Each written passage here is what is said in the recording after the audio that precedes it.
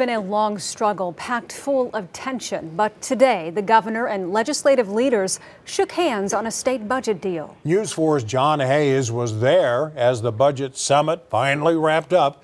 He joins us in studio with details and a lot of pretty harsh words, John, between Republican leaders. Definitely, Kevin. Lots of smiles today, though, after several tense public meetings. And although things did end up ending peacefully, the governor stopped short of saying he won't take an extra step to get something else he wants.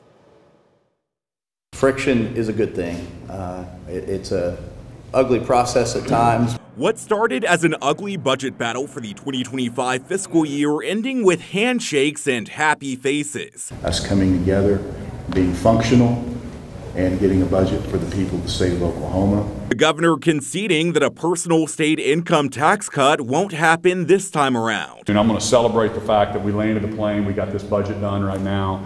Stopping short, though, of saying another option isn't on the table to get his way. I'm not saying we won't call a special session, but uh, um, you know, now we need to just be happy about this. He did get some items on his wish list, including a $20 million fund for grants to attract or keep businesses in Oklahoma. We want Oklahoma to be the most business friendly state and be the corporate headquarters capital of the world.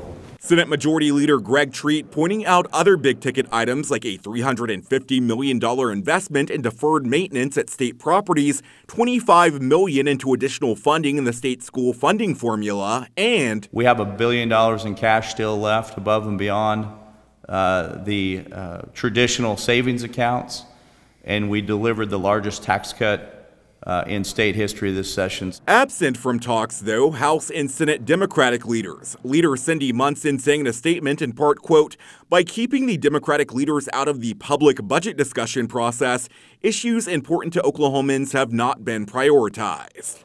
And a quick highlight in all of the numbers, 45 million set aside in disaster relief after the brutal tornado damage we've seen in recent weeks. The next steps here, though, are drafting the deal into legislation for the House and Senate to vote on.